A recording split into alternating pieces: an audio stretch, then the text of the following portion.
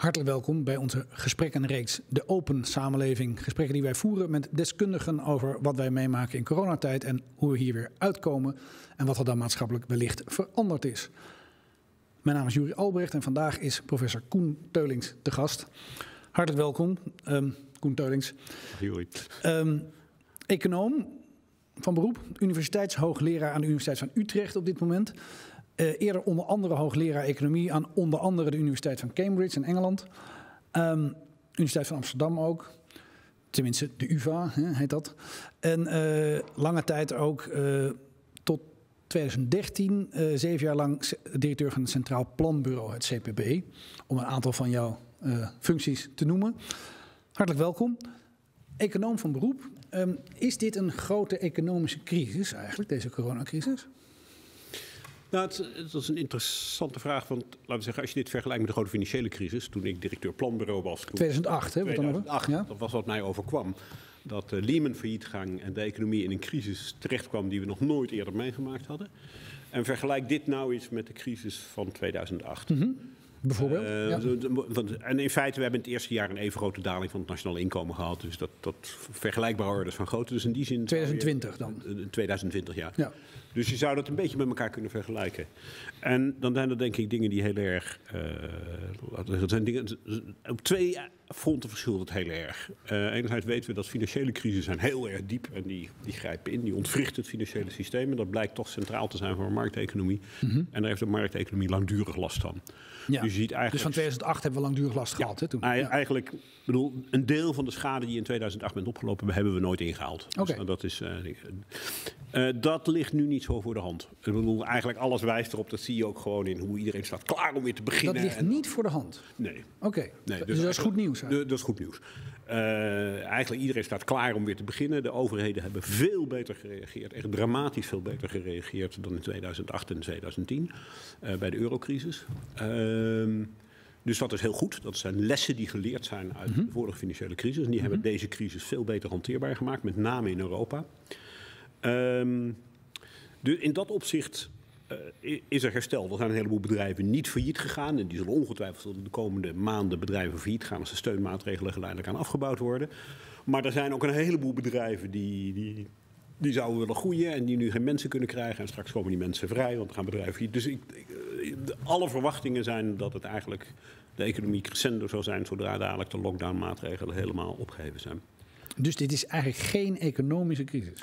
Jawel, dan kijk, er is natuurlijk heel veel schade aangericht. Nee, maak je geen zorgen. Er is, ik bedoel, ga naar een gemiddelde kroegbaas en die, die, die, die, die is boos. Ja, natuurlijk, mm -hmm. dat begrijp ik. Want die heeft gewoon een, een, jaar lang, een half jaar lang, een jaar lang op halve kracht moeten rijden, een half jaar zelfs helemaal dicht moeten zijn. Ja.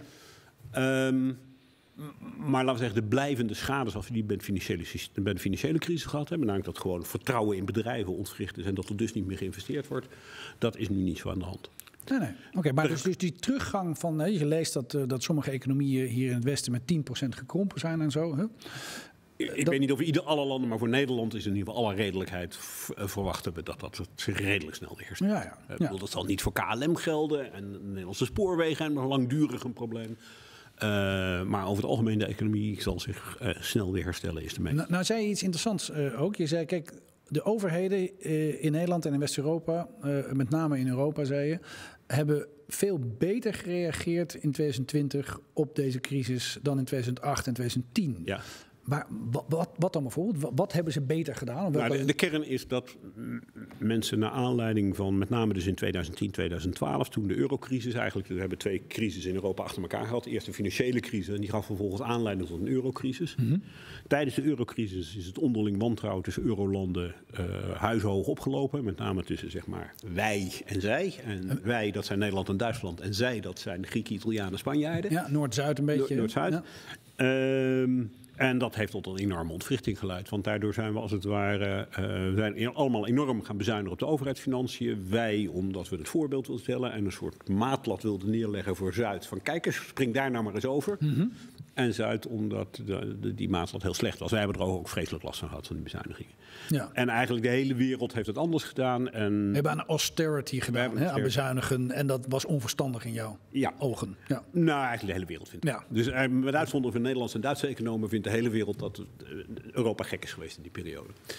um, Dat hebben we nu, tot ieders verrassing, heeft Europa dat verbijsterend anders gedaan. En wat, hebben, wat hebben we dan beter gedaan deze keer? Nou, nou kijk maar naar Nederland. Ehm, dus het ministerie van Sociale Zaken heeft in een weekendtijd een steunregeling op, hoog, op poten gezet. Waarmee dus vele mensen gewoon geld op mijn rekening gestort kregen. Dus mijn kapper, ja Koen, het is ongelooflijk. Ik heb afgelopen week mijn aanvraag, of ik heb twee dagen na de sluiting mijn aanvraag ingediend. En eh, drie dagen later had ik mijn geld op mijn rekening. Ja. Eh, ongelooflijk En dat is voor eh, heel veel bedrijven en bedrijfjes in Nederland hè, gelukt. Is dat, ge- is dat gelukt? En dat heeft ertoe geleid dat de economie... Ja, een winkel die dicht moet, moet dicht. Er is geen ontkomen aan. Maar dat betekent niet dat daarmee ook die mensen meteen in grote financiële problemen komen. En dat betekent dat ook de mensen die aan die mensen leveren niet in enorme problemen. Dus de economie is min of meer door kunnen functioneren. Behalve dat een aantal bedrijven dicht waren. Maar de financiële consequenties werden daarvan eh, verzacht, zal ik maar zeggen. Ja. Want die waren niet nul natuurlijk. Nee. Ehm, en dat, dat kon alleen, denk ik, doordat we in Europa allemaal de ervaring hadden van dat het in 2010, 12 misgelopen is. Ook allemaal wel wisten dat, dat, dat we dat echt verkeerd gedaan hebben. Dat Ja. hebben we nooit zo hard toegegeven, maar alle economen waren daar eigenlijk wel van overtuigd. En we hebben dus nu gewoon eh, ruimhartig de portemonnee getrokken. En dat heeft ons door die crisis heen doen Dat hebben we in Nederland gedaan, hebben we in Europa. maar in heel Europa heeft dat gebeurd. Ja, En dus we hebben stiekem, dus in het begin even, dat was een pijnlijk incident waarbij Christine Lagarde even riep, eh, de ECB is er niet om de rentespread binnen de perken te houden, waar ze overigens gelijk in heeft. Maar eh, binnen de kortste keer realiseerde zich dat die tekst het omgekeerde was van eh, whatever it takes. Dus whatever it takes is de beroemde uitspraak van Draghi in 2012. eh, om hoe dan ook de euro in stand te houden. En deze uitspraak was eigenlijk, nou dat gaan we hoe dan ook niet doen. Ja, Lagarde is de opvolger van Draghi, hè, als de president-directeur van de Europese Centrale Bank. Ja. Ja. En in het begin hadden ze nog wat hakken in het zand, maar heeft ze snel Nou, dat, echt, dat heeft le- letterlijk een halve dag geduurd. Ja. Dus anders zegt zij, zij wou als het ware, ik denk dat haar zin niet. Ik denk niet dat zij op enige manier afstand wilde nemen van het beleid wat daarvoor gevoerd was. Nee. Maar ook wel een beetje gewoon een soort van, nou ja, kom op jongens, er is wel ergens een lijn. Rustig aan. Rustig Ja. aan. Maar, eh, maar uiteindelijk de heeft financiële Euro- markten binnen een uur reageerden, heeft hij binnen twee uur de, de boel weer rechtgezet. Ja, Dus en anders uiteindelijk is er was 750 miljard, wat was het?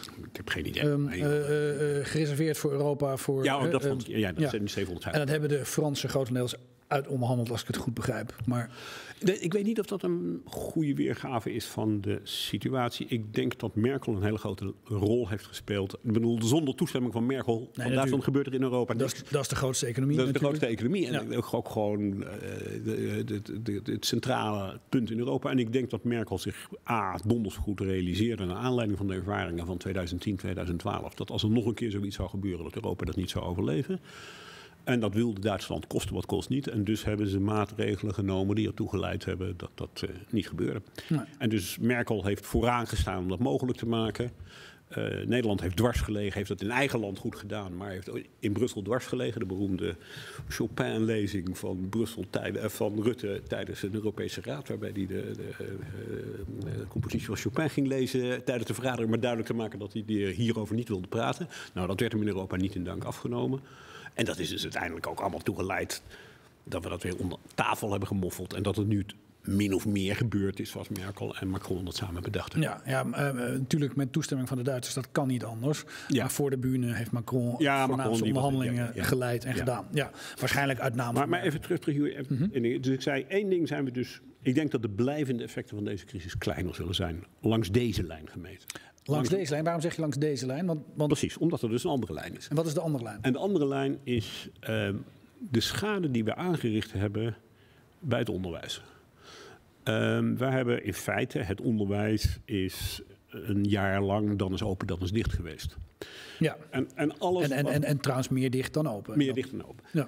Ehm, en bij alles wat, bedoel, de economen, de economische discipline, met andere discipline overigens, hebben heel veel onderzoek gedaan in de afgelopen 40 jaar naar de betekenis van onderwijs voor de maatschappij, voor, Ja. de, voor de economische welvaart. Is een van, een van de dingen waar jij ook veel onderzoek naar gedaan hebt, is de waarde van nee, onderwijs. ik heb er in het verleden veel onderzoek, nou Ja. doe ik er niet meer zoveel naar, maar ik bedoel, en- maar de, de, de- ook de economische waarde van onderwijs en ook de ehm, eh, inhoudelijke waarde van onderwijs. Ja, je, je moet. Economische waarde is altijd zo moeilijk, want dan zegt iedereen: ik heb je die economen weer die alleen maar over geld praten. Kijk, wat je ook onderzoekt, Ja. of je nu onderzoekt of mensen crimineel worden, Ja. Of de levensduur van mensen, de levensverwachting van mensen zoekt. Of mhm. mensen aan de alcohol raken, of mensen roken, of zo obesitas krijgen. Wat ze later gaan verdienen. Of de economie groeit. Uh, of de economie groeit.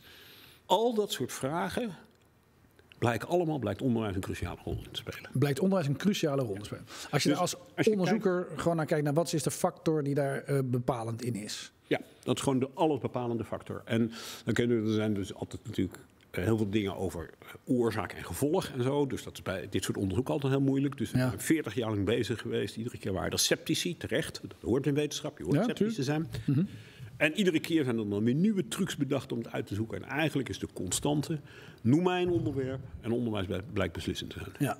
Uh, en dus laten we nou eens denken dat onze welvaart sinds het begin van de vorige eeuw ongeveer vertienvoudigd is. BBP per capita was iets van 3000, dus nu iets van dus sinds, sinds 1901, zeg maar. Hm? Um, nou, dat is een groot deel daarvan is onderwijs. Een heel groot deel daarvan is onderwijs. En, de, de, dat de, grootste, de grootste invloed op die economische groei, op die welvaartsgroei, is verbetering van onderwijs geweest. Dat speelt een enorme rol in. Dus het, functioneren van een moderne samenleving is alleen maar denkbaar met onderwijs. En daar spelen ook hele gekke dingen een rol in iets wat je op school leert. Klinkt ook, niet, ook niet onlogisch, toch? Ik bedoel, het is niet onlogisch, maar het, het, gaat over vaak dingen die je helemaal niet verwacht. Dus wat moderne onderzoek, vooral Jim Hackman heeft daar veel naar gedaan de laatste tijd. Uh, Nobelprijswinnaar. Uh, Jim Hackman. Jim Hackman, uh, ja, Chicago. Die laat zien. Uit de school van Chicago. Ja, ja. hoezeer, laten we zeggen, onderwijs op jonge leeftijd verandert je hersenen omdat met het trainen van je hersenen en met het doen van bepaalde dingen doen en bepaalde dingen niet doen, gaan je hersenen worden anders gestructureerd. Er worden verbindingen in je hersenen gelegd. Vraag me de details niet. Maar er worden verbindingen in je hersenen anders gelegd als je bepaalde dingen op jonge leeftijd oefent. Mhm. Ehm, dus mensen zijn nu hele andere mensen dan zeg maar 120 jaar geleden. Ja. Wij zijn gewoon uh, het Flynn-effect heet dat. Wij worden steeds intelligenter. Het Flynn-effect. Wij worden steeds intelligenter. Mhm. En niemand begrijpt precies waar dat aan ligt. Maar eh, waarschijnlijk toch wel aan onderwijs. Toch wel aan onderwijs. En dat is dus niet. Dat is. Dat heeft te maken met voeding, dat heeft te maken met dingen die je stimuleert en die je niet stimuleert. Dus het, zit, het is niet alleen maar je leert het en je, je stopt het in je hoofd. Nee, het is ook je hoofd wordt er anders door. Ja, dus de, de, de, de synapsen in je hoofd, hè, de neuronetwerken in je dat hoofd. vermijden, maar dat is het. Die, die, die, die liggen dan anders. Die liggen dan anders. Zijn anders gegroeid. Zijn anders gegroeid. Ja. Uh, dus dat heeft ook allemaal relaties met, met medische wetenschap. Als je met Jaap Goudsmit over dit soort dingen, dan zegt hij allemaal dingen die, die ik niet begrijp, maar die hiermee te maken hebben. Ja, Jaap uh, Goudsmit is een viroloog. Ja. Hè, en een, ja. Um, dus onderwijs is vreselijk belangrijk. Het is over heel interessant je te realiseren dat de onderwijsrevolutie, zoals we die afgelopen eeuw gekend hebben, uh, die is begonnen in Amerika. Waar is de eerste plek waar grote generaties, waar de middelbare school standaard werd? De state of Iowa. Oké. Want dat was een staat die was relatief goed georganiseerd, allemaal boeren. Uh, en die hadden allemaal, die zagen de, de, technologische vooruitgang. Dus ja, binnenkort was er vooral die, hun kinderen was er geen plek meer op platteland. Ik bedoel, dat ging met een, ging met een tiende van het personeel. Kon je grote in plaats van paarden. Echt, ja. Daar was echt een land mhm. daarbij, bestond niet meer. Uh, en die, die, die schaalvergroting van die boerderijen ging maar door. Dus, ja, dat, dus die gingen hun kinderen allemaal op school doen. En dat was auto, dat was natuurlijk ook heel belangrijk in Iowa. Want ja, ik bedoel, de bevolkingsdichtheid was nul. Dus de enige manier om op school te komen was met een auto. Um, Wanneer is het? Jaren 20? Jaren 20 zo. Mm Larry Katz uh, en Claudia Golden hebben er prachtig over geschreven. Die is dus, een van de dingen van de IT-revolutie is dat je dus oude archieven kunt inlezen met een kopieerapparaat en dan kunt gaan coderen. En dus die hebben dus gewoon oude bestanden uit 1920 van leerlingen zijn ze gaan, gaan dus coderen. Dus de, en, de grote welvaartssprong is daar ook is, is te relateren aan ook, onderwijssprong. Ja, daarom liep Amerika ook tijdlang vreselijk op ons voor. De, in, in Europa is die sprong eigenlijk pas na de Tweede Wereldoorlog op gang gekomen. Dat gewoon middelbaar onderwijs voor iedereen, voor iedereen. iedereen normaal was. Ja. Uh, en dan, nou, je ziet dus nu hoe, dat, hoe wij ingelopen zijn op Amerika in zekere zin. maar, maar dit, dit, dit als uitleg, dus hoe je ook naar de maatschappelijke ontwikkeling kijkt. Onderwijs is meestal de cruciale factor. Vrijwel altijd, zeg je eigenlijk. Hè? En um, uh, je zei ja, economisch, hè, op mijn vraag over is dit een economische crisis? Nou, economisch valt het eigenlijk wel mee. Hè? Ja. Uh, sterker nog, hebben we het beter gedaan dan eerdere crisis, de, deze eeuw al. Hè? Laat staan vorige eeuw. Dus um, maar er is een andere lijn. Je zegt in het onderwijs uh, uh, gaat er wel iets gebeuren. Want waarom. Wat... Nou ja, dus we hebben mensen, zeg maar. effectief hebben mensen gewoon een jaar onderwijs misgelopen. Ja.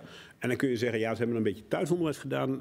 Daar lopen de resultaten wat over het ene. Dus het zal niet een heel jaar zijn. Uh, thuisonderwijs, uh, er is een, een, studie van Mark Verhagen met een aantal co-auteurs in PNAS op, op, Nederlandse data. We blijkt dat thuisonderwijs op de lagere school effectiviteit zo ongeveer nul is. Uh, ik heb met Mark daar onlangs over zitten praten en hij zegt dat de, de tweede golf misschien iets beter is gegaan. Uh, blijkbaar leren we dat ook een beetje hoe je dat moet doen. Uh, en misschien dat, uh, nou ja, goed, ik weet niet. We goed, maar we lopen dus een, een, maar je loopt een, achter. Dus, give or take a little bit, een jaar achter met onderwijs. Precies. En als je gewoon daaraan gewoon de standaard dingen die we al die jaren hebben uitgerekend... en die we weten van wat dat dan kost, dat zijn ongelofelijke bedragen. Maar waarom? Alle andere kosten vallen daarbij in niet. Oh ja? Echt gewoon totaal... Uh, totaal irrelevant vergeleken met wat er bij Alle onder... andere kosten, dus daar vallen de Tozo en de Nauw en weet ik wat allemaal bij het niet? Dan kunnen we een mooie boom over de kosten van de Tozo en de Nauw opzetten. Laten we dat, dat even laten rusten. Maar dus neem voor mij voorlopig voor, granted dat... Nee, dat, graag. Dat, dat ik, ik ben... De kosten van het onderwijs hier Ja. echt... Dus um, één manier om het uit te rekenen, maar die, die veegt allerlei dingen onder het tapijt. Dan zit ik puur naar je verdienvermogen te kijken. Bij ieder jaar extra onderwijs wat je volgt, gaat je verdienvermogen laten we zeggen 8 tot 10, laten we zeggen 5 tot 10 procent omhoog. Dus ieder jaar dat jij langer op school zit, verdien je later 5 tot 10 procent meer. En het is eerder 10 dan 5. Oké. Okay. Dus dan moet je dus denken dat er dus gewoon nou, 10 cohorten, dan alle mensen die nu tussen de 5 en de 15 waren, die hebben een jaar middelbare of lagere school misgelopen. Die verdienen dus straks allemaal 5 procent minder of 10 procent minder, afhankelijk van hoe je rekent. Nou, voor de helft van, want het is een beetje effectiviteit. Nou, je kunt al snel voorstellen, als je dat gaat uitrekenen, dan kom je op enorme bedragen. Ja. Dus als je met dit soort uh, eenvoudige methodes gaat zitten rekenen, bijvoorbeeld de kosten van de schoolsluiting, alleen maar in januari en februari van dit jaar, ja. dan kom je al op 30 miljard uit. Dat in de alleen loop, maar deze twee in, maanden. In de loop van de volgende 10 jaar, 20 jaar, waar hebben Ja, we het dan? nee, dat gaat over de komende 40 jaar. Want Ja. mensen die dus nu... Die hebben De jaar- arbeidsproductieve jaren van deze generaties. Ja, die zijn er. Eh, en ook in levensverwachting. Hè, van, eh, daar ben ik niet goed in hoe dat met de causaliteit zit. Dat is dan lastig. Maar bekend is dat gezondheid nauw samenhangt met opleidingsniveau. Ja. Hoe hoger opgeleid, hoe langer de levensverwachting leeft. in het algemeen. Hè? Ehm, we weten niet helemaal zeker of dat kausaal is. Tenminste, ik weet niet helemaal zeker of dat kausaal is. Ik denk dat er wel was. Er is vast ongelooflijk veel onderzoek naar gedaan, maar dat ken ik niet. Eh, we weten wel een beetje, dat heeft met voedingsgewoontes te maken. Obesitas komt veel meer voor onder lager opgeleide dan onder hoger opgeleide. Eh, er zijn heel veel studies over zelfdiscipline. Je leert op school zelfdiscipline. Eh, je leert uitstelgedrag. En dan die bekende experimentjes van... er ligt hier een snoepje. Dan ga ik de deur uit en dan ga ik even mijn, mijn handen wassen. En dan kom ik over 10 minuten terug. En als dat snoepje er nog ligt, krijg je nog een tweede snoepje erbij. Ja. Nou, wie eet dat snoepje op en wie laat dat snoepje liggen tot hij er een tweede snoepje bij krijgt? Ja. Daar, daar- daar zie je Uitstelgedrag om, Uitstelgedrag, om later dus meer beloning, investering, later meer beloning te krijgen. Ja, allemaal Ja. dat soort dingen. Daar zijn ongelooflijk veel onderzoek naar gedaan. Onderwijs blijkt daar een vreselijk belangrijke rol in te spelen. En dat speelt ook, dit soort voedingsgewoonten hebben een soortgelijk patroon. Ik heb nu zin in een patatje, ja, maar dat is niet gezond. Ehm, je moet toch iedere dag een stukje eh, wat lopen, dat is goed voor je gezondheid. Ja, maar ik heb nu geen zin. Nou ja, al Ja. dat soort dingen. Dat, Ja. dat, dat- dat- dus, Ehm, dus dit verklaart waarom. ehm, dit is de grootste kostenpost van, van de coronacrisis. En Oké, dus gezondheid, onderwijsniveau, verdiencapaciteit. nee, nee, maar dus alles loopt langs het feit dat die scholen dicht zijn geweest, maakt voor die generatie, eh, dus met de mensen met name tussen de 5 en de 15, een enorme kostenposten. Enorme kostenpost. Ja. En dus voor de, voor de tijd dat zij aan het werk gaan. Ja. Dus we krijgen... Nou ja, gewoon eigenlijk de rest van hun leven. Dus dat Ja. is eigenlijk waarom ik die- die tijd Ja. aan het werk. Nee, het is de rest van je leven. Het heeft te maken eh, hm, eh, ook met hoe je met pensioen gaat. Ja. Gezond of niet gezond. Ja. Ook dat soort dingen hebben te maken met quote, investeren in je gezondheid. Nou, gewoon blijven lopen. Ook al denk je, ik zit nu zo lekker achter de tv met een patatje en ik heb helemaal geen zin. Ja. dat is niet goed. Dat, dat, nou, ja, dat zijn allemaal traindingen. En, en, en, en dat is... Ook- ook- is dat... Nog, nog, nog één, Ja, ga. Relaties. Dus eh, hoe doe ik een relatie met mijn partner? Hoe zorg ik dat die in stand blijft? Ook dat blijkt allemaal vreselijk belangrijk te zijn. Eh, onderwijs blijkt daar een grote rol in. Dus je leert daar toch hoe je met andere mensen omgaat. Hoe je de ver- verhouding een beetje werkbaar houdt. Dat je wel er kunt- op kunt slaan of je gelijk willen eisen. En anders loop ik weg. Ja, maar je moet toch weer verder. En dat leer je op school. En dat leer je op school. Dus Ja. al dat soort dingen zijn Ja. allemaal veel beter gedaan. Ja, leer je ook op de universiteit natuurlijk nog. Uh, ik neem aan ook op de universiteit. Ik ken het onderzoek daar niet goed genoeg. Ja. Maar ja, ja en, dat, en dus, dus het feit dat je dat nu wat uh, uh, anderhalf jaar, misschien tegen de tijd dat de scholen weer open zijn, helemaal in, ja. laten we het hopen in september. Hè? Maar dan is het toch wel al bijna anderhalf jaar. Ja. Dat je die periode mist. Dus dat, daarmee is je relationele vermogen, je gezondheid. Allerlei vermogens dat zijn op allerlei manieren zijn, zijn afgenomen. Dus, de, nou, om nog even terug te komen op die Jim Hackman. Dus tot tijlang dachten economen dat wat je leerde op school was rekenen en taal. En schrijven. Ja. En intelligentie. En wat Jim Hackman op wees, dat eigenlijk misschien de periode tussen de vier en de acht wel minstens even belangrijk is, waar je allerlei sociale vaardigheden leert. Ja. Dus, uh, en ook dat zijn allemaal hersensynapsen die worden aangelegd of niet worden aangelegd. Manieren waarop je reageert. Uh, dus Gedrag. emotionele reacties Ja. die ongecontroleerd zijn, maar die aangeleerd worden toch op een of andere manier. Ja. Uh, dus ongecontroleerd is na een tijdje ongecontroleerd. dus, dus, dus, dus dit is, en is dit, kan je dit dan wel karakteriseren eigenlijk als een crisis die we veroorzaakt hebben? Of die we meegemaakt hebben de laatste... Nou, dan kom jaar? ik bij, dan zou ik dat één stap verder willen trekken. Kijk, het afgelopen jaar, ik heb met verbijstering aanschouwd hoe de samenleving deze kosten ontkent. Gewoon massaal ontkent. Gewoon het niet wil horen. Eh, ook gewoon in mijn vriendenkring. Eh, Ik, ik heb wel eens een keer dat ik ergens over een een debat terechtkom. En dan dat iemand. eh, nou, dan wordt er in de vriendenkring over gesproken. En, en openheid, en weet ik allemaal niet wat. En soms zijn het met me eens, soms zijn het niet met me eens. Hier gaat iedereen. Ja, ja, dat onderwijs, dat halen we later wel in. Houd erop met zeuren. Nee, dat halen we later niet in. Dit zijn blijvende kosten. Die kosten zijn groot. Ja. Ik, ik laat misschien iets over de verhouding tussen die kosten en de opbrengsten. Maar dat, dus één, dus de, de ontkenning die de samenleving heeft van het belang van die kosten, de omvang van die kosten. En ook de bereidheid om überhaupt na te denken of die kosten ook voorkomen hadden kunnen worden, wat namelijk denk ik kan, had gekund. Eh, overigens niet alleen in Nederland, dus internationaal verschijnsel. De Ja. WHO heeft net een rapport uitgebracht. Daar wordt hier geen woord over gerept, voor zover ik dat heb kunnen nagaan in de gauwigheid. Daar wordt van alles gezegd dat overheden sneller hadden moeten ingrijpen. Nou, dat is dus, doe de scholen sneller dicht, als ik het goed begrijp. Ehm, en er wordt eigenlijk helemaal niet stilgestaan bij deze kosten. En die zijn echt gewoon heel groot. Alle onderzoek wijst erop dat dat heel groot is. Ja, dus, en dat. Ah, wacht. eh, Dus. Want je zegt verschillende dingen. Je zegt ja, we hebben enorme kosten gemaakt. Eh, laten we eerst even kijken. Je zegt ja, gedeeltelijk hadden die kosten ook voorkomen kunnen worden. Ja, even kijken. Dus ik heb even kijken. Laten we deze ook. De, Ja. de kosten voorkomen kunnen worden. En ja, aan, de, aan, de, aan de andere kant eh, wijs je ook op het feit dat het natuurlijk schokkend is dat de ontkenning over die kosten, het debat erover was ook eigenlijk bijna onmogelijk. dat, is een ander, dat is een ander aspect. Maar eens even kijken, waarom had het Ik- ik- kunnen bij, bij die kosten voorkomen hadden kunnen worden. Nou, dus we hebben scholen gesloten. Ehm, was die schoolsluiting noodzakelijk? CQ kosteneffectief. Nou, kosteneffectief, dan wordt iedereen heel boos. Dan heb je die economen die komen rekenen. Maar ja, het is toch... Nou, het is een manier om naar te kijken. on- absoluut. onvermijdelijk moet je op een gegeven moment afwegingen maken. Ja. En dat is toch wat levert het ene op, wat levert het andere op. En economen zeggen, wat kost het ene, wat kost het ander. Maar het zijn, in feite bedoelen we hetzelfde. Ehm, en er zijn twee, twee smaken in. De eerste smaak is, helpt het überhaupt om de scholen dicht te doen? Helpt het om de scholen dicht te doen eh, voor het voorkomen van de ziekte? Hè? Van de ziekte. Ja. Ehm, nou, het is volstrekt helder dat ehm, jongeren besmetten ouderen en ouderen besmetten jongeren. Er, is, er, is, er, zijn, dat, er staan geen schotten Er staan geen schotten Nee, tussen leeftijdscategorieën. Het is wel dat de leeftijdscategorie, de RIVM heeft daar hele duidelijke cijfertjes over. Je hebt wel die mooie besmettingsmatrices met die... Met die ik weet niet of je wel eens gezien hebt, met die, die, die ringetjes, die cirkeltjes erop.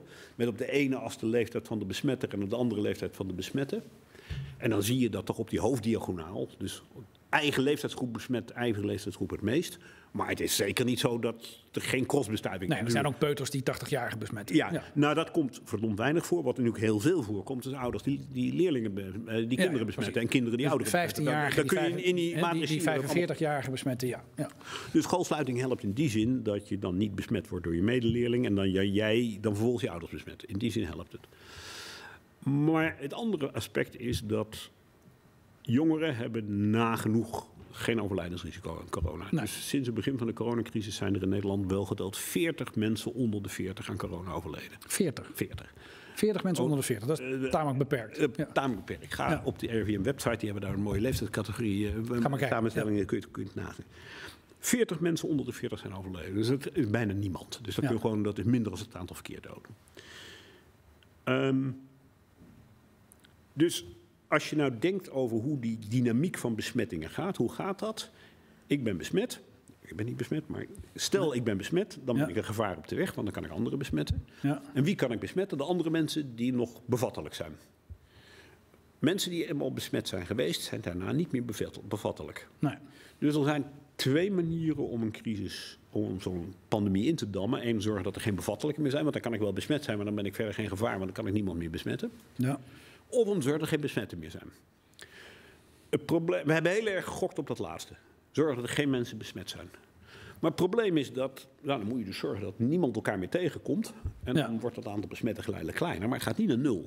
Dat blijven bestaan. En zodra je dan die deksel weer van de pan haalt, nou, dan stijgt het aantal besmettingen weer enorm snel op. Het verminderen van het aantal vatbaren is een veel permanentere oplossing. Want iemand die vatbaar is, blijft, nou, we weten dat niet precies, maar blijft lang immuun.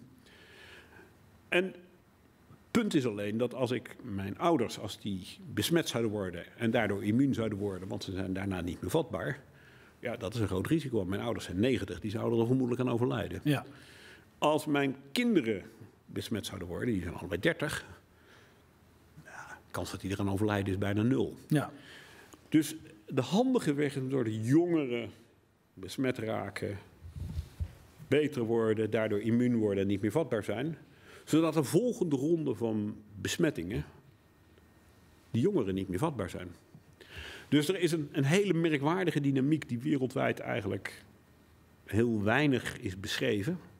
Twee, drie, een groepje economen op MIT heeft een paper erover geschreven. Daron Acemoglu en een aantal anderen. eh, hierover Een groepje geschreven. economen op MIT, hoe zei je dat zei? De, de, de- die hebben er hier een paper over Ja. wat dit mechanisme beschrijft. Eh, en een daarvan is Daron Acemoglu. Dat is een uh, Daron Hassamoku. Acemoglu, eh, een vermaardheid in de economische wetenschap. Ehm, en die hebben dat mechanisme beschreven. Dus in feite is schoolsluiting is een contraproductieve maatregel. Je moet ouderen zoveel mogelijk beschermen en jongeren zo snel mogelijk besmet laten worden, zodat ze daarna niet meer vatbaar zijn. Nou ja, dus je moet niet herd immunity voor de hele bevolking doen. Je moet herd immunity doen Begin nou maar bij de jongeren, want die bij- gaan er niet aan dood. bij mensen onder de 40, zullen we zeggen. Dat, dat is eigenlijk Ja. gedachte. Ja. Dus daar, en waarom dat mechanisme bij niemand op het netvlies heeft gestaan, weet ik niet. Dus dat hangt natuurlijk ook heel erg af specifiek van deze pandemie.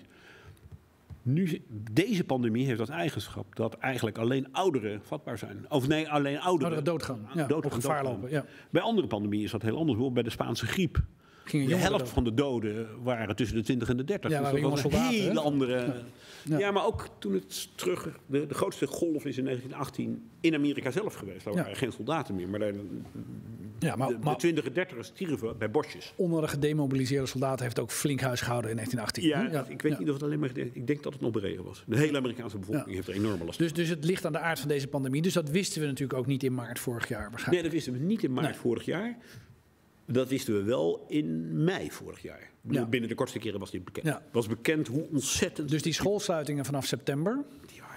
Nee, die zijn vanaf Zijn september, ineffectief. eigenlijk met name in december zijn ze eh, ineffectief geweest. Ja. En we hadden eigenlijk in december... Dus die kosten, die, die, die, die grote economische kosten die er gaan komen, die hadden in die zin voorkomen kunnen worden. De scholen wel gewoon open Ja. te doen. Ja. Nou is dat natuurlijk een matigende opmerking. Er er scholen, dat zijn leerlingen, maar ook docenten. Ja. En docenten, eh, ik bedoel, een vriend van mij is eh tekenleraar op een school in Schiedam. Eh, die, ja, die, die zei ook tegen mij, ja, wij maken ons wel zorgen. Ja, dat begrijp ik, want anderhalve meter op een school, dat is, Is niet daar, daar kunnen we wel Ja. mooi over praten, maar daar wordt niks. Ja. Ehm, dus die, die maakte zich wel zorgen en die vond het ook wel onaangenaam. Ja, waarom moeten scholen nou open blijven? Want toen waren ze nog open. Ehm, en ik denk ook, de vakbonden hebben natuurlijk massaal gepleit voor schoolsluiting, omdat ze bang waren voor hun docenten. Dus ik denk, laten we zeggen, als we in staat waren geweest om de enorme angstgolf die is ontstaan wat in te dammen. En wat meer realistisch over de risico's te praten. Dan had je denk ik gezegd, nou kijk, docenten, met name mannen boven de 50. Nou, dat zijn er natuurlijk nogal wat. Daar gaat Dat zijn er zeker een hoop. Ja. Maar als we die nou eens laten thuisles geven, maar de kinderen wel zoveel mogelijk naar school laten komen. En laten we die thuislezen zo doen dat de docent thuis zit en de kinderen op school zijn. Ja. Eh, nou, zo, zo- Dat soort- dat soort als we langs dat soort wegen gezocht hadden, dan waren we denk ik Ja. veel verder gekomen. Of, dat, met- of dat docenten onder de 40 wel lesgeven op Ja, nee, dus dat- niet, dat was mijn of ding. 50 of 40. Goed, ja.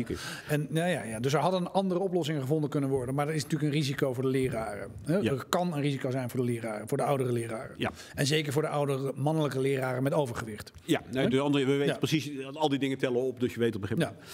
Nou, dat is dus één manier van. Ik weet niet of de schoolsluiting wel zo constructief is geweest. De andere Mhm. is. ik heb daar concreet aan zitten rekenen. Gewoon met het, het standaardmodel, wat dat het heet het SIR-model, dus Susceptible, Infected, Recovered. Dus eh, vatbaar, Sir, geïnfecteerd. sir, sir, eh, Ja, S-I-R. hè? Ja. Ja. Ja. eh, Rico, Rico hersteld. Ja. Eh, en daar, kun- daar kun je mee rekenen. Dus een bepaald, dus, dus een paar differentiaalvergelijkingen. ja, jij bent econoom en je bent ook goed in wiskunde, Ik begrijp ben goed in wiskunde. Ja. Dus je hebt Eh, daar zitten rekenen en je denkt dat dat niet effectief geweest is. Je Ik denk, maar het aardige van die berekeningen is dat je daar nu ook. Laten we zeggen, je kunt gewoon vrij concreet uitrekenen wat nou, de schoolsluiting van tussen december en zeg maar 1 maart opgeleverd. Ehm, en ja, die berekening is altijd bedoeld, hangt precies van je parameter. En opgeleverd qua, wat bedoel je, op, waar? Minder dodelijke slachtoffers. Oké, minder dodelijk slachtoffers. Want eh, eh, zeker omdat we nu gaan vaccineren, heeft de schoolsluiting wel het scheelt dodelijke slachtoffers. En als je dat dan vervolgens afzet tegen de kosten, met dat onderwijs, hè, die 30 miljard waar ik het net over had, nou, dan kom je op kosten per gewonnen levensjaar in de orde van grootte van een miljoen per gewonnen levensjaar. Een miljoen per gewonnen levensjaar. Ja, Nou, dat, dat is veel. Dat, dat, dat is heel veel. Precies. Ja. Nou, dat zeg jij sneller. Even voor, voor de luisteraar. Eh, denk aan eh, de ziekte van pompen, waar er toen uitgebreid over gediscussieerd was. Dat ging over gevallen waarin we geloof ik 80.000 euro zouden uitgeven voor het winnen van één levensjaar. Ja, En aan extra medicijnen. aan hè, extra voor- medicijnen. En ja. dat is dan uiteindelijk... Dat werd besloten om dat niet te doen. Ja. En dat vinden wij heel onaangenaam, maar het is onvermijdelijk dat in de gezondheidszorg afwegingen gemaakt worden. Wat levert iets op Ja, en wat moeten we ervoor opzij ja, de kosten die wij aan gezondheidszorg kunnen besteden zijn niet oneindig. zijn niet oneindig. Nee. Dus je moet het effect afwegen tegen wat je ervoor moet opgeven. Ja, Ehm, en dat doen we permanent. En dat doen we overigens niet alleen in de gezondheidszorg. We doen het natuurlijk ook met daarbuiten. Ik hoor de auto's rijden. Nou, er gaan jaarlijks, eh, het aantal verkeersdoden zal zijn 300 per jaar of zoiets dergelijks. ik weet het niet. Maar, Eh, ja. Zoiets zal het zijn. Ehm, en daar doen we ook ons best voor om dat te verminderen. Echt, eh, ons uiterste best wordt geld aan uitgegeven om Ja. dat te verminderen. Maar we leggen niet het autoverkeer stil. Want we maken de afweging. Ja, het zal wel wezen dat je daarmee levens redt. Maar de kosten daarvan zijn extreem. Nou, Ja. Een heldere keuze. Er is niemand die voor zou willen stellen het autoverkeer. Dus je moet zo'n afweging altijd maken. Nou, en in de gezondheidszorg is dat moeilijk. Effectief vind ik dat Nederland daar heel goed in is. Ook artsen weten dat, doen dat. Ze praten daar liever niet over, dat begrijp Nee. ik. Ehm, het is een, een hele onaangename discussie. Maar onvermijdelijk gebeurt het. En die afweging zit, nou, wisselt een beetje, we doen dat niet helemaal consistent, maar ergens tussen de 50.000 euro en de 150.000 euro. Als het gaat om preventie, willen we veel minder geld uitgeven dan als het gaat om iemand die acuut nu dood dreigt te gaan, dan geven we plotseling 150.000 uit. Ja. Als er nu iemand die binnenkomt, leg 150.000 daarvoor, dan, dan, dan overleeft hij nog. Ja, dan gaat hij een jaar dood, maar dan kan hij nog een jaar leven. Harttransplantatie, Dan- leggen die eh, harttransplantatie op het, op het moment dat het helemaal nodig is, maar aan preventie van dat je niet aan hartvervetting Nee, en dat je dan later nog eens een keer eh, twee jaar langer leeft. Ja. Daar zijn we. Nee. Nou, dat is een, be- een bekend mechanisme. Maar een miljoen per jaar geven we nooit uit. Nee, hebben- maar dat dat hebben we bedoel, nu- dan, dan dat hebben we nu dus wel gedaan. het hebben we nu wel gedaan. Ja, de- dus dit over de effectiviteit van het onderwijs sluiten, afgezien van het feit dus dat je daar allemaal vaardigheden op doet voor de rest van je leven. En dit is dan de financiële gezondheidszorgafweging eigenlijk, hè, die je hier uitlegt. Ehm, maar je zei nog iets anders ook. Je zei ja, wat me opvalt in het afgelopen jaar is dat we hebben als economen behoorlijk goed in kaart gebracht de afgelopen 40 jaar hoe het zit met eh, opbrengsten uit onderwijs. Hè? Eh, eh, dat begrijpen we eigenlijk best goed. Ja. Ehm, daar is, en met gezondheid, opbrengsten. Hè? Dus hoe het met gezondheid. En, dus de economen hebben er ook veel onderzoek naar gedaan. Maar die discussie en die realiteit van de waarde van onderwijs, hè, in Ja. letterlijke zin en in overdrachtelijke zin misschien, die was het afgelopen jaar niet te voeren. Ja. Nou, ik constateer gewoon een nuchter feit. Ik bedoel, ga kijken hoe er gereageerd wordt eh, op dingen die ik daarover gezegd heb. Die Mirjam van Praag daarover gezegd heeft. Ja, bij Mirjam van Praag is er minder heftig op gereageerd. Ook een econoom, een Nederlandse Ook een econoom, Ja. eh, voorzitter van het collegebestuur van de VU. Die, eh, eh, die verweet mij dat ik de, de, de eh, verweet, die zei, Koen, je onderschat de, de kosten van het sluiten van onderwijs. Daar heeft ze goede argumenten voor. Onder- die- Berg, dus zij, zij dacht eigenlijk dat, je, dat de kosten nog hoger zijn dan jij ze berekend Nee, er zijn, Ja. ik bedoel, ik heb 5% genomen en eigenlijk zou je 8% moeten nemen. Nou ja, enzovoort. Daar kun je eindeloos over praten, maar Mhm. ik wil aan de voorzichtige kant zijn. Ehm, Nou, dan zie je allerlei mensen en ook die studie van, van, van Mark Verhagen, een aantal co-auteurs, die is interessant uh, op dat terrein. Uh, hij doet een PhD sociologie in Oxford. Maar, maar de, de, so, ja, PhD sociologie in Oxford, dat is een redelijk, bekendstaande universiteit. Ja. Ik heb er ook wel eens rondgelopen. Ja. En dat, ja. Maar, ik dacht, maar het... haal ik een bekend terrein. het, um, dus ja, ja. Maar je constateert eigenlijk dat deze inzichten, wetenschappelijke inzichten van de laatste decennia, yeah. niet zijn meegenomen in de bestuurlijke afwegingen, politieke afwegingen nee, die er gemaakt zijn. Je moet daar subtieler in zijn. Uh, er is ontzettend veel ophef geweest toen over alle dingen die daar, daar rond gezegd zijn, in maatschappelijk, allemaal schandelijk.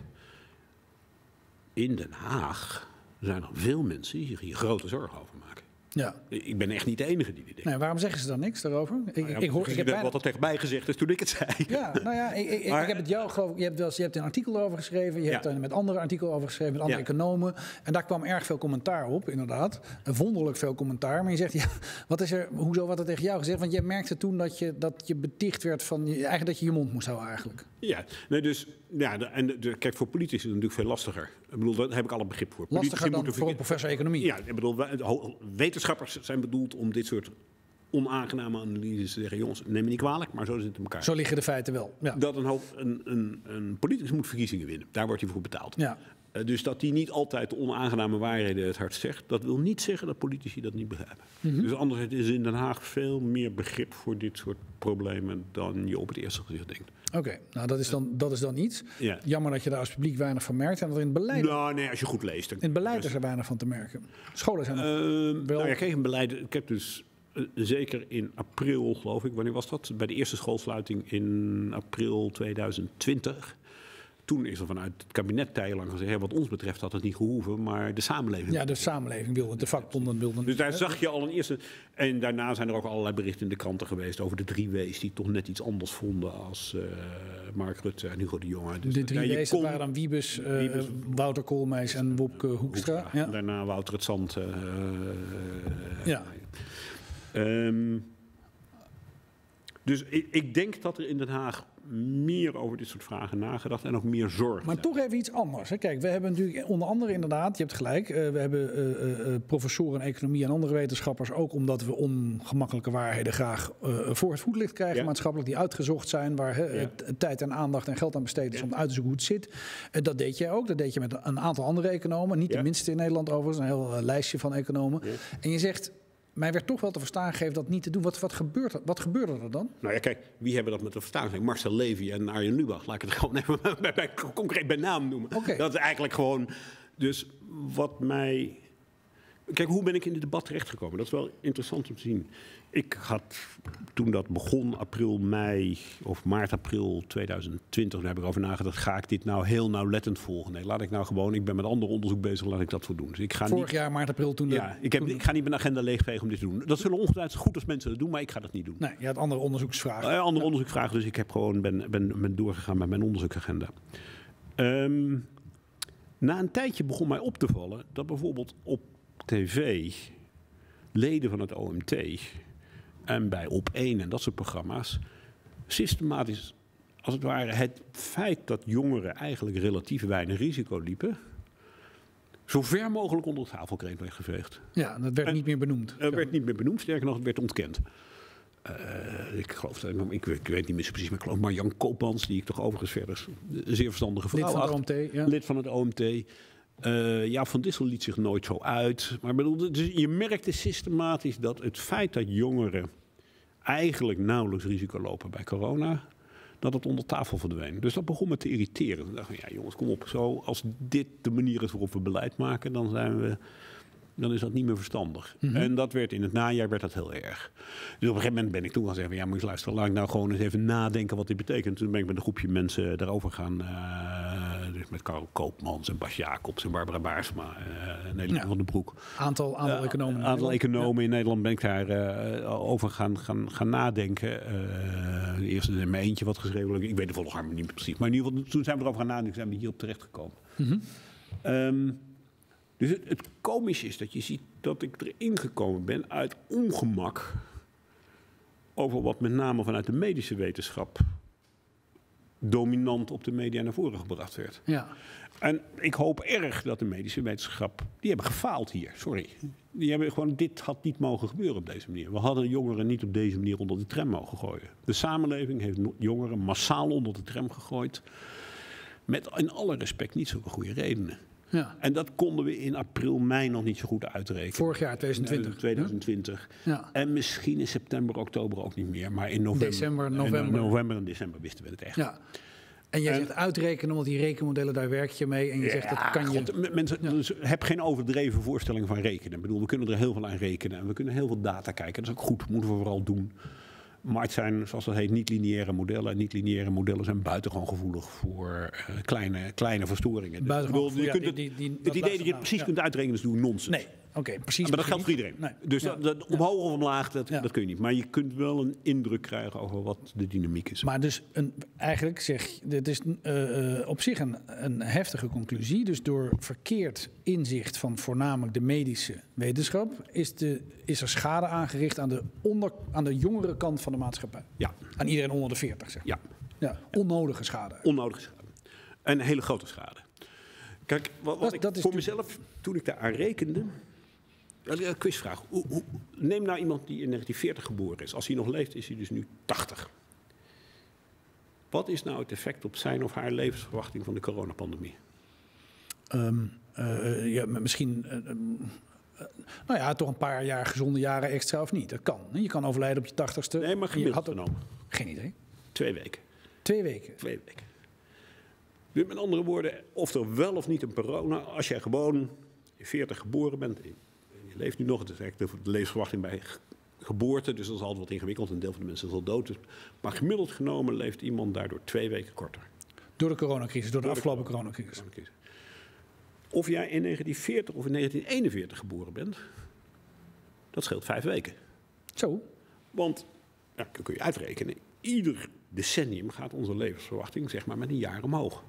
Dus ieder jaar gaat onze levensverwachting met vijf jaar omhoog.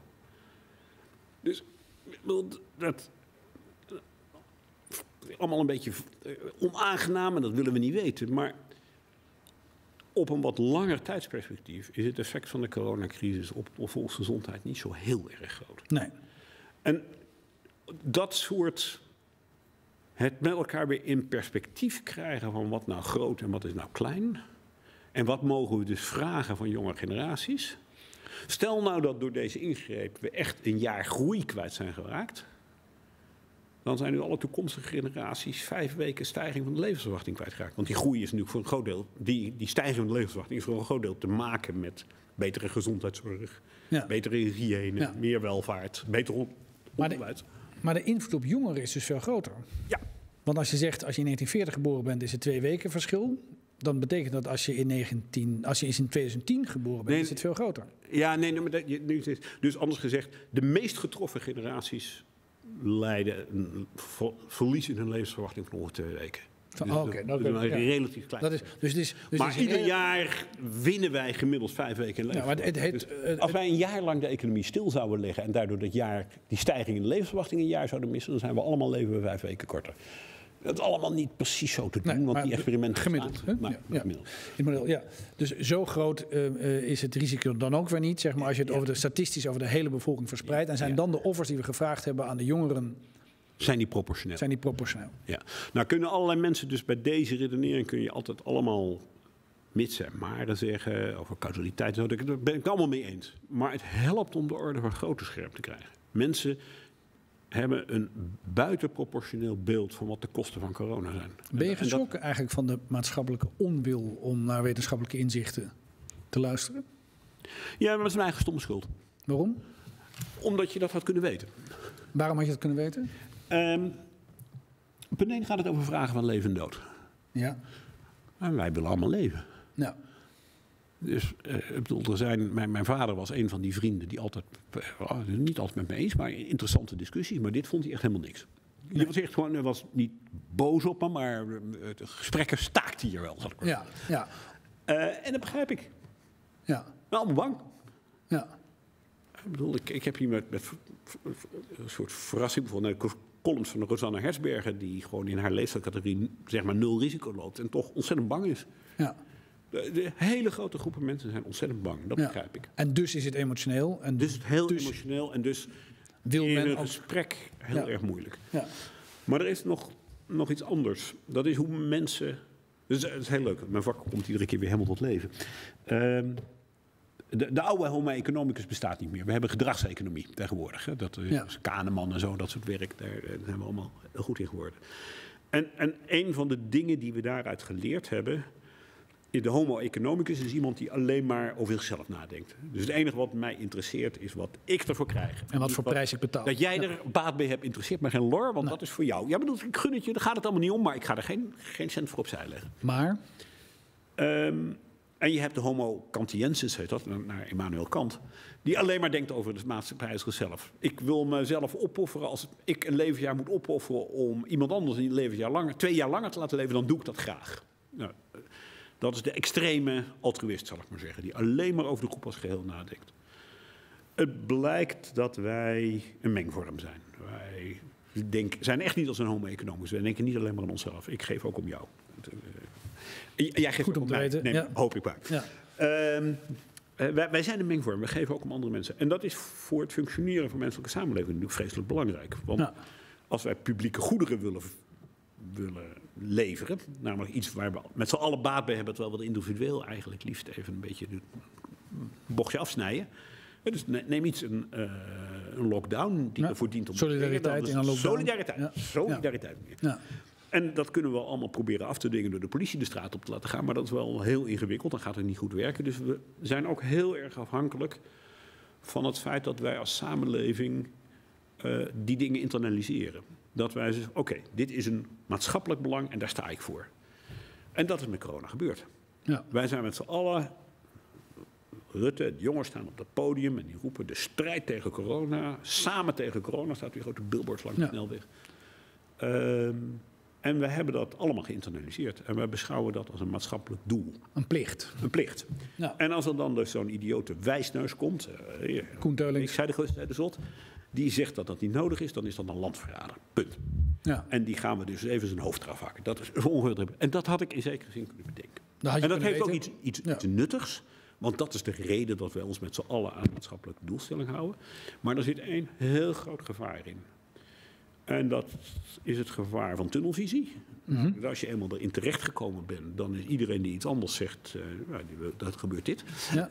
Eh, wordt- En massahistorie, want die daar natuurlijk nauw mee samenhangt. Namelijk alle afwijkende. Tunnelvisie en massahysterie. Ja. Ja. Ja. En, dus ik denk dat we dat een beetje tegenkomen. Dus dat had ik een beetje kunnen weten. Die zijn we een beetje tegengekomen. Nog niet dat je letterlijk gelinst wordt, maar wel figuurlijk. Nee, ja, kan zo, ik bedoel, bedoel, je zult ook niet zo snel letterlijk geliefd worden in Nederland. Nee, maar dat, zo, zo is het nou ook wel weer. Da- da- Daar is zo eh homo moralis zijn we wel dat we met z'n allen toch bedenken dat. eh, Laatste, laatste vraag van dit gesprek. Hè? Die, die, die, die ehm, onderwijscrisis die we dus wel hebben. Hè? En dit schade die we aangericht hebben aan jongeren, of dat nou kleuters of middelbare scholieren zijn, maar eh, jongeren, mensen die jonger zijn dan 20 of dan 25 of dan 30. De scholen gaan nu toch heel langzaam weer open. Ze zijn nog steeds niet open. Maar laten we wel hopen dat het volgend schooljaar dat wel zo is. Universiteiten weer Ja. open, middelbare scholen open, lagere scholen. Kunnen we daar nog iets aan herstel doen? De schade is geleden. Die onderwijsjaren zijn niet eh, eh, geweest. Maar kunnen, we er iets, kunnen we er iets aan doen? ehm, nee en ja. Eerst nee. Het idee dat je dat kunt inhalen. Mhm. Al die vrienden van me zijn, nee, je kunt het niet inhalen. Nee. Ik bedoel, de gedeelte Extra die- bijlesuurtjes, Die, die, dat- synapses die worden aangelegd op een bepaald levensjaar. En als je dat voorbij bent, dan worden ze minder goed aangelegd. Dus je kunt dat, het idee dat we leggen is- een jaar stil, we herstellen het weer. Nee, schade is Er is nog een tweede reden waarom het niet zo makkelijk kan. Waar haal je in een jaar capaciteit vandaan van het onderwijssysteem? Betekent je gewoon een jaar dubbel moet doen. Ja, we hebben niet plotseling niet docenten die zomaar Nee. van de maan komen aanvliegen om Nee. dat te doen. Dus dat je dat echt helemaal inhaalt, dat is illusie. En dus ik denk ook dat we eigenlijk gewoon weer ons stinkende best moeten gaan doen. Maar het niet als een deficit moeten merken, aanmerken. Want dan blijft een cohort dat tot zijn hele leven met zich meedragen. Dat is helemaal niet productief. Nee. Dus we moeten gewoon weer aan de slag. En niet over een, een, een achterstand die ingehaald moet worden gepraat. Maar gewoon van hier zijn we nu en vanaf hier gaan we weer zo goed mogelijk verder. Zo goed mogelijk onderwijs geven. Ja. Ja. Dus eh, echt inhalen is niet mogelijk. Het is blijvende schade. En laten we ervan leren dat we niet nog een keer zo'n blijvende schade aanrichten. Ja, belangrijk. Maar er is bij onderwijs iets anders. Als je nou de vraag stelt, wat is nou de grootste crisis in de samenleving? Is dat corona of het onderwijs? In het algemeen.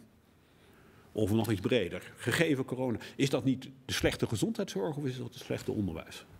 Ik denk dat heel veel mensen nu steeds meer zeggen, nou, het is gezondheidszorg, groot probleem. Het gezondheidszorg als grootste probleem aanwijzen, ja? Ik denk dat in Nederland onderwijs een gigaprobleem is. Ja. Als je gewoon Nederland had een van de beste onderwijsstelsels in de wereld. Uh, toen ik directeur CPB werd, 2006, toen was het Nederland stond in die OCD-rankings. De PISA-scores worden ieder jaar gemaakt, stonden wij ja, heel hoog. Ja, nummer vier of ook nummer... Heel, ja. Ook een heel egalitair systeem in de zin van dat bij ons... Wie deed het met name goed relatief ten opzichte van andere landen? Dat waren de lagere. De, de mensen met, met ouders uit een lagere sociaal-economische status. Okay. -hmm. Dus wij waren een zeer verheffend onderwijsstelsel. Ja. Daar is in die 20 jaar, dat begon al in 2006, want we hebben daar in het CPB toen een rapport over gehad, wat nul aandacht kreeg. Uh, maar je zag eigenlijk Nederland ieder jaar één plaatje op die ranking omlaag gaan. En dat gaat tot op de dag van vandaag door. Dus als ik nou één ding hier aan mee zou willen geven, dan is voor de volgende formatie. De crisis in het onderwijs is veruit de grootste crisis in de Nederlandse samenleving. Anders dan wij denken. Wij denken dat het de woningmarkt is of uh, de gezondheidszorg. Ik denk dat het onderwijs veel belangrijker is. Dus ik zou hopen dat we echt met een plan komen om onze voortdurende daling op die PISA-scores tot stand te brengen. Ja. En ik, ik weet echt niet precies wat je ervoor moet doen. Maar dat het moet gebeuren, dat staat als een paal boven water. Ja. Als dat de les uit de coronacrisis is, dan zijn we eigenlijk nog niet zo slecht af. Nee, uh, maar dat moet nog zien. Daar moeten we nog wel even moet nog, nog dat, ja. een druppeltje water door de rem ja. voordat we tot die conclusie zeggen. Hartelijk dank. Hartelijk dank Teulings, voor de komst hier bij uh, de Open Samenleving. Mooi gesprek. Mooi gesprek over de gevolgen van de coronacrisis en um, de toestand waar we in terecht zijn gekomen het afgelopen jaar. Hartelijk dank Koen Teulings, hoogleraar in Utrecht, universiteitshoogleraar, um, professor economie. Hartelijk dank.